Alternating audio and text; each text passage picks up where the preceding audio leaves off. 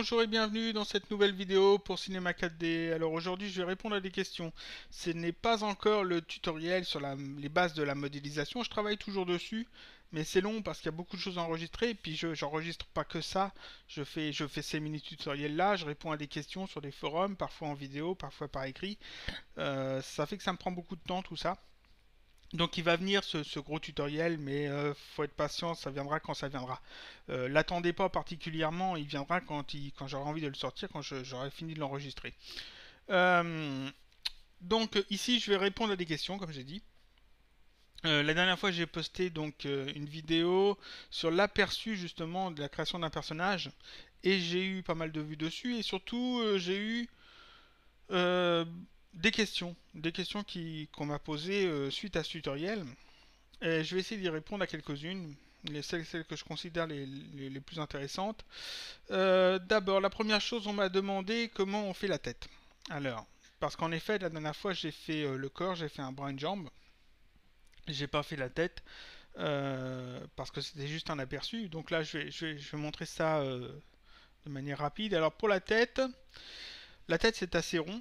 Donc on peut, partir de deux, formes. Soit euh, d'un cube avec beaucoup de segments et on déplace des arêtes de manière à obtenir une forme assez arrondie. Si c'est un personnage par exemple de comics, euh, genre euh, Batman, Superman, qui ont des têtes très carrées, très costauds, dans ce cas-là, vaut mieux partir d'un cube et puis bien déformé. Si, si c'est plutôt un personnage d'animé ou un personnage cartoon, partir d'une sphère, c'est peut-être ce qu'il y a de mieux. Faut voir, ça, dépend. Euh, moi j'aime bien partir d'une sphère, donc ici je vais partir d'une sphère, puis là la, tête est quand même très ronde, donc euh, je prends une sphère. Voilà.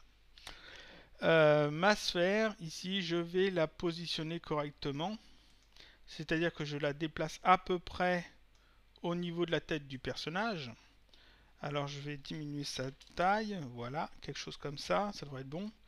Je place ça à peu près ici, alors, il faut faire attention des fois sur les blueprints, on a les cheveux du personnage. Ne prenez pas en compte les cheveux, prenez bien le crâne du personnage. Les cheveux, vous les faites à part. Ou alors, si vous voulez les faire en même temps, euh, il faut savoir ce qu'on fait. Disons qu'ici, je pars vraiment euh, avec les cheveux à part. Je place, euh, je transforme ma, sphère en type hexaède. C'est important pour avoir en fait que les quadrangles ici de face. Je vais l'agrandir un petit peu peut-être. Euh, non, pas tout de suite. Donc là j'ai une sphère, elle est, elle est positionnée à peu près euh, là où il faut sur le personnage. Je la transforme en, objet éditable avec ces deux petites sphères ici, ou là avec la touche C. Et ensuite j'ajoute un déformateur dessus. Alors ici je vais chercher déformation libre. Je place le déformation libre dans la sphère. Dans déformation libre ici dans coordonnées, je mets ces positions, ces trois positions à 0. Donc 0, 0, 0. Pourquoi? Parce que ça le permet de le, remettre sur le point 0 euh, de l'objet parent, c'est-à-dire euh, là où se trouve la sphère. Exactement là où se trouve la sphère. Là, il est beaucoup trop, trop grand, par contre, par rapport à la sphère. Donc, je vais ici changer ces dimensions. Je pense que 200, ça devrait être bon. 200 sur les trois dimensions. Voilà. J'augmente ici les points de la grille c'est important aussi pour avoir plus de points à déplacer parce que la déformation libre, on déplace des points pour déformer l'objet qui est à l'intérieur.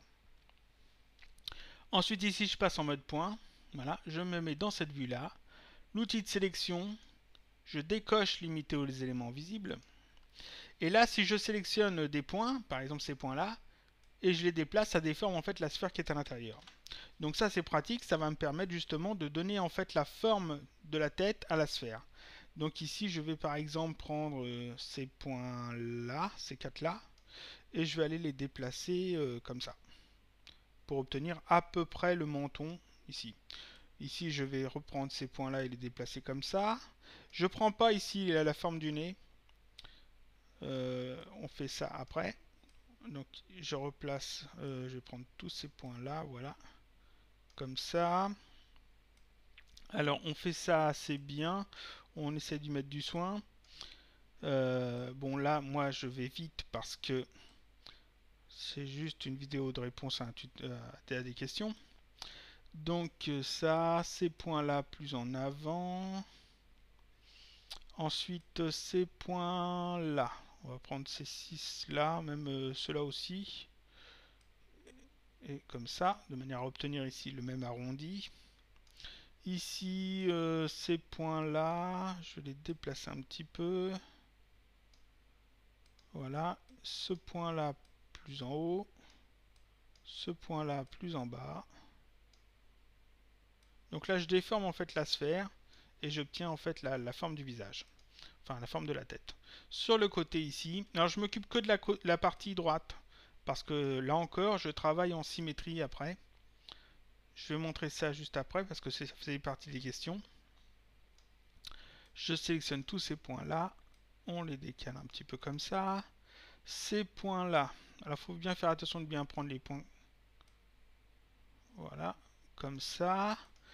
Euh, ici, ces points, ces points-là. Plus comme... Non, pas trop. Plus tôt cela alors. On va essayer de faire ça.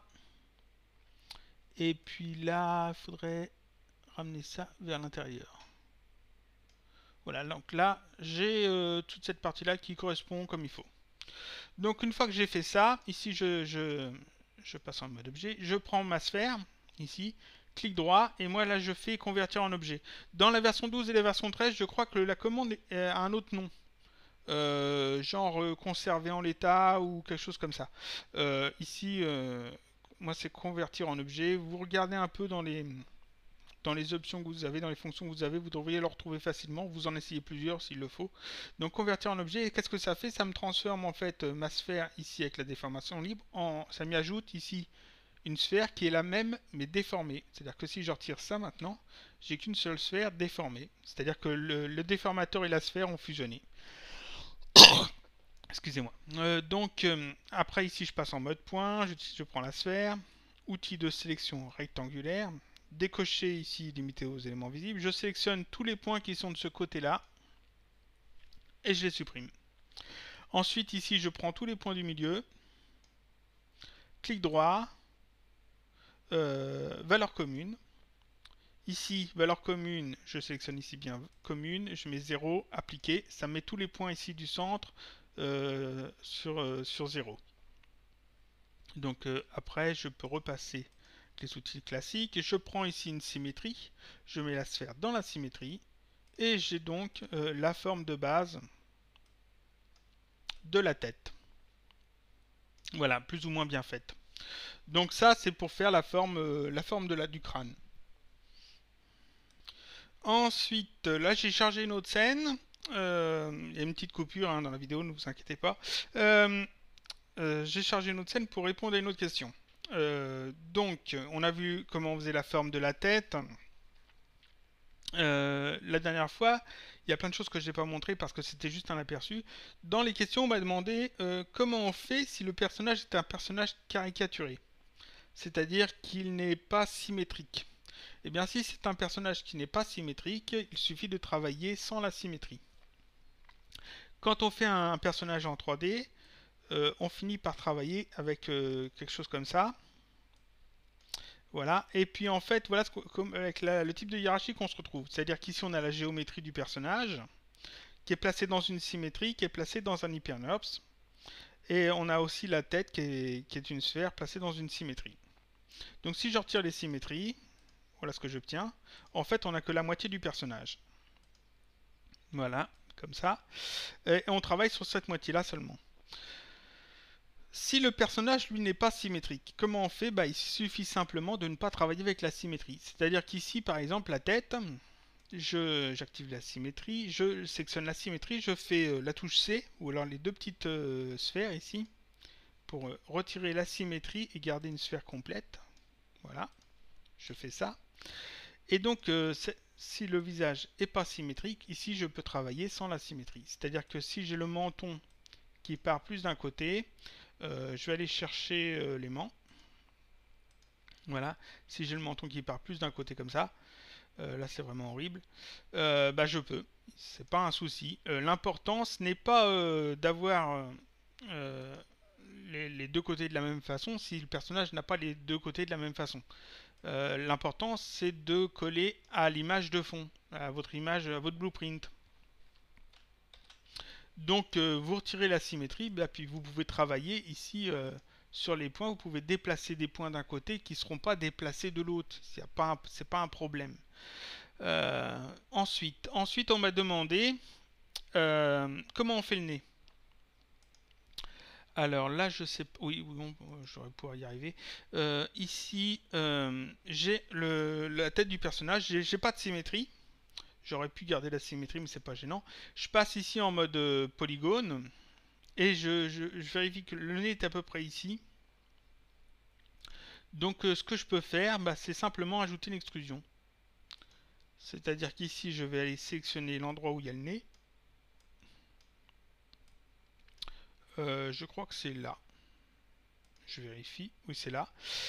Euh, ensuite, touche D, extrusion. Je fais une extrusion. Ah, j'avais sélectionné. il faut cocher, limiter seulement aux éléments invisibles. Sinon, on sélectionne, euh, vous voyez, des, points là où on n'a pas envie. Il faut bien, toujours bien faire attention à ça. On fait souvent ce genre d'erreur. Donc, je sélectionne ces faces-là, extrusion, voilà. Et puis, bah, là, je peux travailler dessus hein, de la même façon que, que pour tout le reste. Hein. Ici, je peux faire le nez. Alors là, c'est un personnage assez, euh, assez dessin. Euh, quand c'est un personnage plus réaliste, hein, on, travaille avec plus de, euh, plus de polygones, forcément. Ici, ensuite, forcément, je prends le mode point. Je décoche, cette fois, limité aux éléments visibles. Et là, là j'ai en fait une forme supplémentaire. Je peux donc aller sélectionner des points et les repositionner correctement de manière à obtenir le nez. Voilà. Et je fais comme ça pour tout. Hein. Ici, par exemple, j'ai besoin d'une ligne supplémentaire pour faire ici le, petit arrondi. Bah, c'est simple, hein, je peux le faire. Ou alors, je peux carrément aller faire comme ça. Et repositionner correctement tous les points. Alors là, il faut que je prévoie pour l'œil. Alors, ce qui est important, c'est euh, d'essayer de conserver, en fait, ici, des lignes... Euh, pas droite, mais des courbes assez, belles dans, la modélisation. Pas avoir des, pics comme ça qui sont pas beaux. Toujours assez arrondi. Euh, ça reste assez fluide en fait dans les lignes. Voilà, donc là, euh, vous voyez, en, peu de choses, on peut travailler. Euh, et là, pas, je ne l'ai pas encore mis dans un HyperNurbs. Après, quand on met ça dans un HyperNurbs, ça arrondit un peu tout, on retravaille un peu la forme et on obtient en fait le, personnage. Donc pour le nez, vous voyez, c'est simple. Les oreilles, c'est pareil, il suffit de sélectionner un polygone, un ou plusieurs, on fait une extrusion, ça nous permet d'obtenir des points supplémentaires et de faire en fait toutes les, tous les éléments qui dépassent. Voilà. Euh, alors attention quand vous faites la tête, hein, de ne pas prendre, euh, je veux bien dire, de, prendre le crâne, pas prendre les cheveux. Les cheveux se font à part.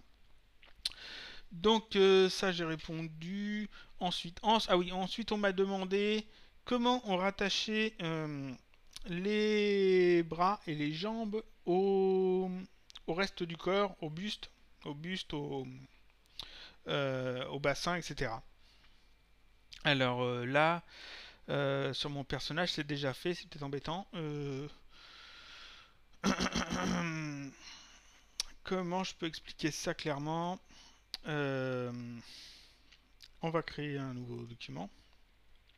Quand on fait, on fait le buste, on se retrouve donc avec un, un cylindre avec plusieurs... Alors ici 8, non 16, et ici plusieurs comme ça quelque chose comme ça à peu près voilà. Bon là je fais pas la forme c'est pas gênant. Et euh, ensuite on a fait un bras. Alors un bras 8 et puis euh, ici euh, plusieurs comme ça. Dans ce sens là plus petit comme ça. Voilà. On se retrouve avec un truc à peu près comme ça. Alors c'est très schématique hein, vous fiez pas vous inquiétez pas. C'est pas gênant plus ligne. Euh, comment on fait? Sur le buste,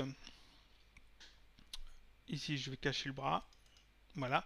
Sur le buste, au niveau du bras, là où le bras doit se rattacher, on, repère les points. Euh, ici, on, euh, on, a besoin de... Le bras fait, fait 8 segments. On a donc besoin de 8 segments pour le rattacher. 8 segments, c'est 4 polygones. C'est-à-dire qu'il faut que je rende tout ça éditable, sinon ça ne marchera pas. Ah, j'ai oublié de retirer les couvercles. Décidément. Voilà. Voilà. Je rends tout ça éditable. C'est parfait.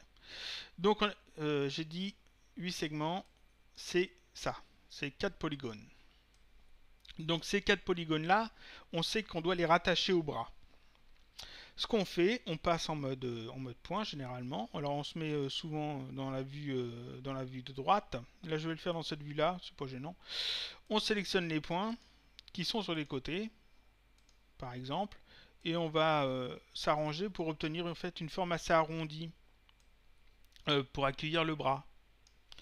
Donc ça, alors forcément il faut que ça corresponde en fait à la forme de votre blueprint. C'est-à-dire que vous pouvez remonter tous les points s'il y a besoin de remonter tous les points. N'hésitez hein, euh, euh, pas à déformer de manière à ce que ça, ça corresponde bien à, l'image de votre blueprint. Arrangez-vous pour que le point central soit bien au milieu. C'est mieux. Et donc vous obtiendrez quelque chose d'à peu près rond comme ça. Alors moi, dans, la vidéo aperçue, j'avais pris beaucoup plus de points, c'était une erreur en fait. Euh, ici, il faut vraiment en prendre que 4 polygones pour faire quelque chose de bien. Une fois qu'on a fait ça, en mode polygone, on efface les polygones qui sont ici afin d'avoir un trou. Et le bras doit venir se, coller là-dessus. On a donc le bras. Voilà. Le bras, euh, on s'arrange aussi pour qu'il corresponde au mieux au trou qu'on a fait.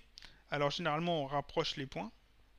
Ensuite, une fois qu'on a fait ça, on sélectionne les deux éléments, c'est-à-dire le buste et le bras clic droit, on fait connecter et supprimer. Ça permet de créer en fait un élément qui contient les deux. Voilà, donc on n'a qu'un seul élément. Et là, il y a plusieurs façons. Alors, il y a trois méthodes. On peut faire ponter, qui permet de rattacher euh, des, éléments à d'autres. Euh, ici, dans ce cas-là, moi, il y a deux méthodes que j'aime bien. Euh, c'est la couture ou la soudure. C'est-à-dire que soit on passe ici en mode point, euh, je vais peut-être vous montrer la couture. Euh, donc en mode arrête, je vais sélectionner des, boucles UL. Je sélectionne cette boucle là. Voilà. Et il faut que je sélectionne aussi la boucle qui correspond là. Alors ici, je vais la sélectionner manuellement. Je zoome comme ça, je me mets à l'intérieur. Parfait.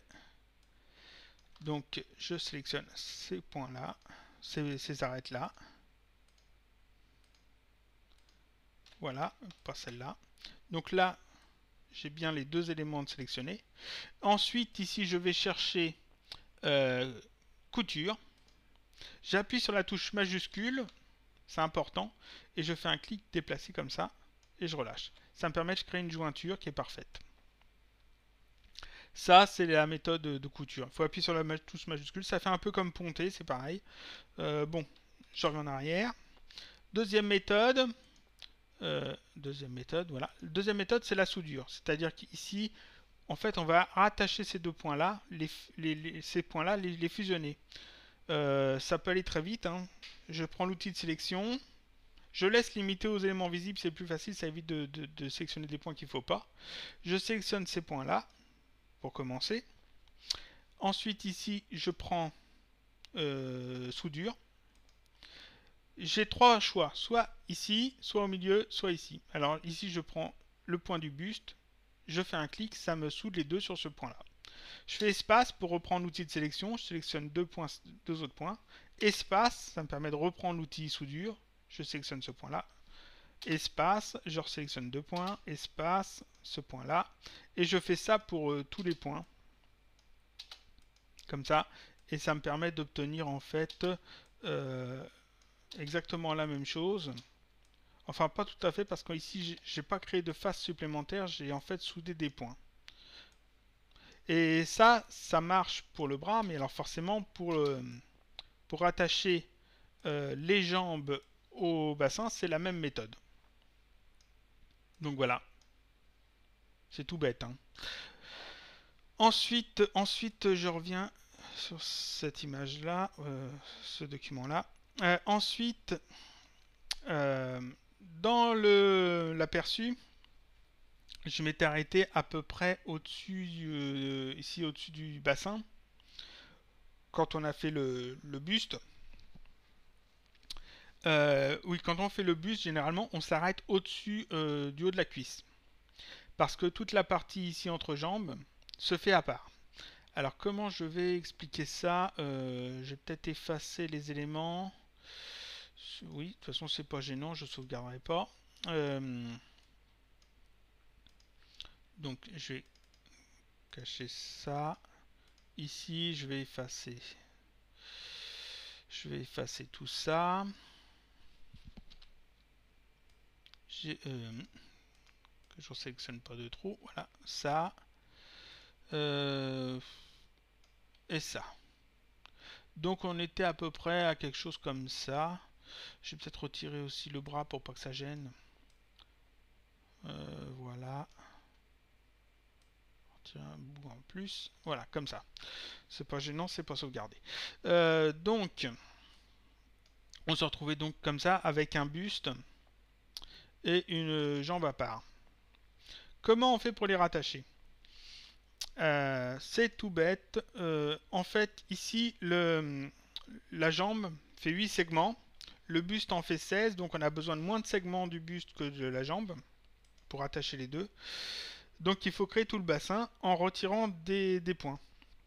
Je prends donc euh, cette vue-là, la vue 3D, en mode arrête. Voilà. Euh, alors forcément, je sélectionne euh, encore la jambe et le buste, je fais connecter, supprimer, c'est pareil. Ici, je vais sélectionner ces deux arêtes. Pas celle-là. Et ici, ces deux arêtes-là. Voilà. Comme ça. Je retourne chercher ici euh, couture. La touche majuscule, je reste appuyé dessus. Alors, voilà et je fais une couture comme ça. Ce qui me permet ici d'avoir, il faut, je vous rappelle qu'il faut 8 points. Donc ici j'en ai 1, je passe en mode point, 1, 2, 3, 4, 5. Il m'en manque 3. Donc je prends l'outil couteau, touche K, je vais retirer les, points en trop là parce que j'ai effacé plein de choses. Alors, euh, hmm. optimiser, voilà. Donc ici, euh, touche K, l'outil couteau, mode boucle. Donc j'ai besoin de 3 points. Alors 1, 2, 3. Voilà. Et ces points-là vont me permettre donc de créer toute la partie du bassin. C'est-à-dire que je les sélectionne, je les fais redescendre, je passe au suivant, et encore les suivants. comme ça. Sur la vue ici de côté, ben, il me suffit juste d'aller les placer correctement. Alors, alors c'est plus ou moins de travail. Hein. Comme ça. Je vais plus en avant comme ça. Et là, forcément, je déplace aussi ces points-là. De manière à obtenir ici. Alors là, c'est pas tout à fait bon par rapport au personnage parce que j'ai effacé en fait toute la géométrie tout à l'heure. Mais euh, l'idée est là. C'est-à-dire que ici, je vais déplacer tous ces points de manière à obtenir ici, comme pour, euh, comme pour euh, le bras, d'obtenir un arrondi sur lequel la jambe va pouvoir venir se greffer. Voilà. Ensuite, alors forcément sur le vue de côté hein, aussi, il faut modifier les points de manière à obtenir vraiment l'arrondi qu'il faut. Et euh, comme ça, on peut obtenir en fait tout le bassin. Il faut mettre beaucoup de soins. En fait, ça dépend de votre personnage. Si c'est un personnage très cartoon ou au contraire un personnage réaliste, vous aurez plus ou moins de travail. Vous pouvez rajouter avec l'outil couteau euh, des lignes, forcément, si vous avez besoin. Mais euh, gardez bien à l'esprit que ici, sur la jambe, vous avez 8 points. Donc ici, euh, l'élément où la jambe doit se rajouter, sera attaché, doit avoir aussi 8 points. Voilà, j'ai fermé la scène. Je passe à une question suivante. Euh, pas vraiment une, réponse que je vais donner, c'est plutôt... Il y a beaucoup de questions qui me viennent, qui sont juste des erreurs de manipulation. Et les personnes qui, me posent ces questions sont des débutants dans Cinéma 4D. Et et pense en fait que ce sont des bugs ou que le logiciel fonctionne mal parce que justement ça ne fait pas ce, que, ce à quoi on attend. Euh, souvent c'est juste une erreur de manipulation. C'est-à-dire que le Cinema 4D est un logiciel qui est quand même assez complexe, comme Photoshop par exemple. Il y a pas mal de choses dedans. C'est un logiciel professionnel hein, qui sert pour la télévision, qui sert pour la publicité, le cinéma. C'est pas c'est pas un petit gadget il y a beaucoup de fonctions, beaucoup de choses, même des fonctions qui sont un peu cachées. Hein. Des fois, on appuie sur majuscule et puis on utilise une fonction, puis on obtient quelque chose de complètement différent parce qu'il y a une fonction cachée. Euh, quand on appuie sur majuscule, ça fait autre chose. Pareil pour contrôle, alternate, etc. Euh, et, donc souvent, euh, il y a des erreurs qui sont juste dues au fait qu'on n'est pas assez attentif à ce qui se passe. Par exemple, ici, euh, si j'ai euh, une sphère, une sphère, je passe en mode point, euh, en objet éditable, voilà. Je vais sélectionner ici un point, voilà, et je le déplace, ça fonctionne bien. Il n'y a aucun problème. Ici, j'ai bien sélectionné un point, je l'ai déplacé. Je reviens en arrière. Ici, si je décoche limité aux éléments visibles, je sélectionne par exemple un point, ou même deux. On va sélectionner plusieurs comme ça et euh, je les déplace. Et là, qu'est-ce qui se passe? En fait, c'est pas ces points-là qui se sont déplacés, c'est aussi ces points-là. Et euh, ça, le, débutant ne comprend pas. Tiens, comment ça se fait qu'il m'a fait ça? Euh, C'est simplement parce que ici, on n'a pas fait attention que limiter aux éléments visibles est peut-être décoché au moment où on fait la sélection. Je reviens en arrière. Alors, souvent, il suffit juste de cocher, décocher une option, juste une option, pour avoir un, comportement différent dans Cinema 4D. Et euh, parfois, ça fait des choses très bizarres. Donc, on peut penser que ça pourrait venir d'un bug, euh, alors que c'est juste euh, que la personne n'a pas fait attention en fait aux options du, logiciel. Par exemple, le débutant va peut-être passer ici en mode axe sans faire, attention. Et puis, en voulant ensuite déplacer son objet, il ne comprend pas pourquoi l'objet bouge pas. Ou alors euh, peut-être en le faisant tourner, euh, tiens comment ça se fait qu'il tourne pas, pourtant je tourne bien l'axe. Euh, bah oui parce que ici on est en mode axe. quand on revient en mode point, bah, l'axe a bougé. Là on peut de nouveau bouger l'objet mais on n'a plus l'axe comme il faut. des fois ici c'est les ces icônes là qui sont décochées. ces icônes là permettent de limiter en fait l'action sur seulement un, ou plusieurs axes, un ou deux axes. Ici, si on, ferme tout, on ne peut plus euh, travailler sur tous les axes. Ici, c'est seulement sur les axes Y et Z. Ici, seulement sur X, Y, etc. Euh, ce genre de choses, il faut faire attention. Euh, ce sont des petites erreurs qu'on peut faire facilement quand on est débutant, c'est normal. Hein. Moi aussi au début j'en faisais beaucoup, j'en fais encore parfois. Des fois j'oublie de cocher ou de décocher une option. Et, et toutes ces choses-là, bah, il faut y faire attention. Sinon, on peut penser que c'est un bug de Cinema 4D ou que ça fonctionne pas correctement, euh, alors qu'en fait, ça fonctionne très bien, mais seulement on n'a pas fait attention à quelque chose. Par exemple, ici, le mode, le, mode texture. Si on est en mode texture, on va peut-être pas forcément comprendre pourquoi ça fonctionne pas. Euh, donc toujours bien faire attention dans quel mode on est. Euh, ici, si on a coché ou décoché des choses, savoir ce qu'on fait. Il y a aussi des, fonctions euh, et des outils que si on les utilise, ils peuvent avoir une incidence sur d'autres outils. Euh, donc il faut faire attention aussi à ça. Euh, ça, j'ai répondu. ensuite, qu'est-ce qu'on m'a demandé? Oui, un truc qui est assez intéressant aussi. Alors, je vais retirer ça. Alors, la question en fait, euh, beaucoup euh, utilisent euh, Cinema 4D pour mettre en relief des logos. Par exemple, on prend Photoshop, on charge dans Photoshop une image, on utilise l'outil Plume, Plume Pen Tool en anglais, je crois, et on fait le tracé en fait de, l'image qui a été importée. Alors souvent c'est un graffiti ou un logo assez stylisé. Ensuite, on enregistre le tracé au format euh, Adobe Illustrator euh, version 8 pour pouvoir l'ouvrir dans, Cinema 4D. Puis ensuite, on l'ouvre dans Cinema 4D et on obtient donc un tracé en, spline.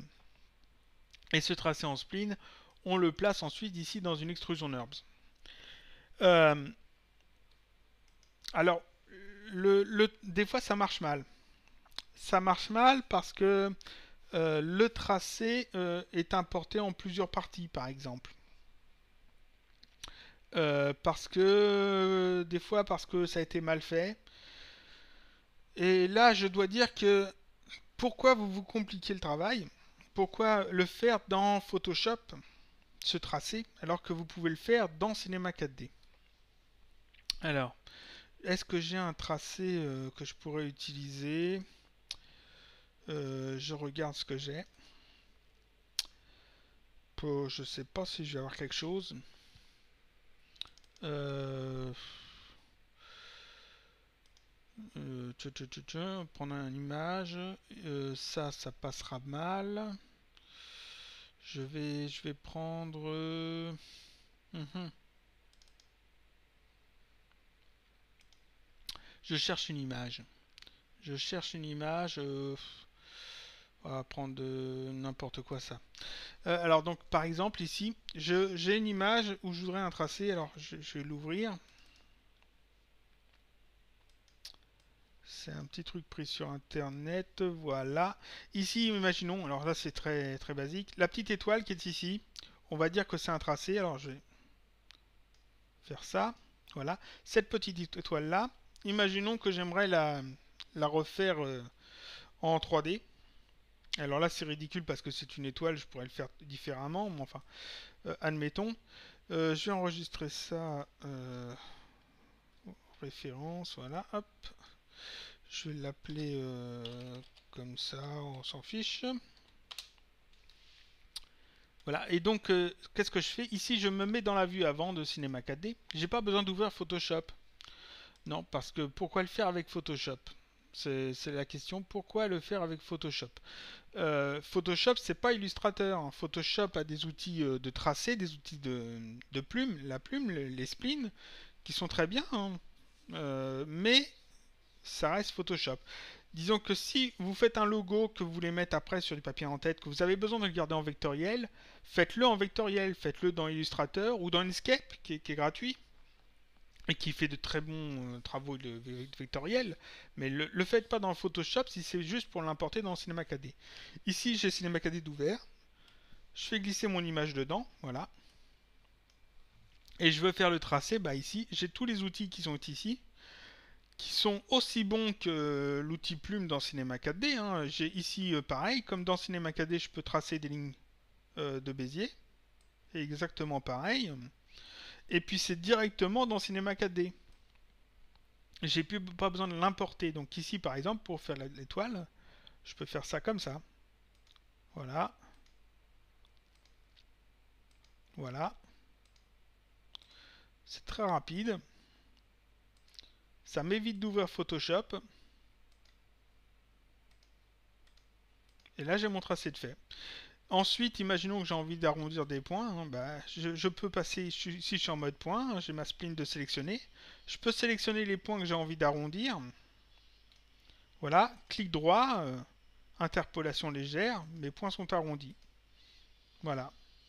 Si j'ai envie d'arrondir, en fait, euh, de rajouter des points, de faire plus de densité sur ces points-là, je peux les sélectionner clic droit. J'ai d'autres outils, hein. par exemple ici j'ai euh, champ freiné qui me permet justement d'obtenir en fait des arrondis hein, plus ou moins voulus. Et puis euh, je peux redéplacer mes points ensuite euh, comme je veux, hein. si, j'ai envie de faire quelque chose de plus précis. On peut faire ça comme ça. Là. Et c'est tout aussi bien que de le faire dans Photoshop. Sauf que là, j'ai pas besoin d'enregistrer au format euh, Adobe Illustrator. Euh, et j'ai mon tracé euh, qui est fait. Je peux aussi le placer ici dans mon extrusion NURB sans problème. Et j'ai ma forme en 3D. Ici, imaginons que j'ai besoin d'un trou au milieu. Voilà. bah, c'est simple. Hein. je peux prendre par exemple un masque spline, qui est l'équivalent en fait des, des booléens, mais pour les splines. Je vais prendre ici un cercle que je vais mettre au milieu. Voilà, on va, le réduire. Comme ça. Je vais le, positionner à peu près là. Je mets donc ma spline dans le masque spline. Le cercle aussi. Voilà. Je sélectionne ça. Ici, je prends euh, A, euh, donc je les mets dans le bon sens, A-B, et le masque spline dans l'extrusion NURBS. Et là, j'ai ma forme de fait. Euh, donc, il n'y a pas besoin de passer par Photoshop pour utiliser euh, les, les, splines, les tracés. Euh, ce que vous faites à la plume, dans Photoshop et que vous mettez du temps à faire, que vous exportez, que ça passe pas toujours bien dans Cinema 4D, vous pouvez le faire directement dans Cinema 4D avec des outils tout aussi puissants, même peut-être plus parce qu'il y a plus de fonctions dans Cinema 4D justement pour travailler sur les splines. Euh, donc tant que vous ne travaillez pas sous Illustrator ou sous Inkscape, ça sert à rien de travailler sous Cinema 4D, euh, sous Photoshop pour faire du vectoriel dans Cinema 4D. Faites-le directement dans Cinema 4D. Voilà, euh, ça c'était la dernière question que j'avais reçue. je, je ferai peut-être un tutoriel sur les spleens. Et donc, comme j'ai dit, euh, le tutoriel sur les bases de la modélisation, il avance. Ça prend du temps, euh, ça viendra par la suite. Donc ici, j'ai expliqué, euh, je revois bien tout, comment faire la forme de la tête, ensuite comment rajouter pour un nez, comment rattacher les bras et les jambes au corps, et puis les splints dans Cinema 4D. Je vous dis à bientôt pour un prochain tutoriel, mini-tutoriel sur Cinema 4D.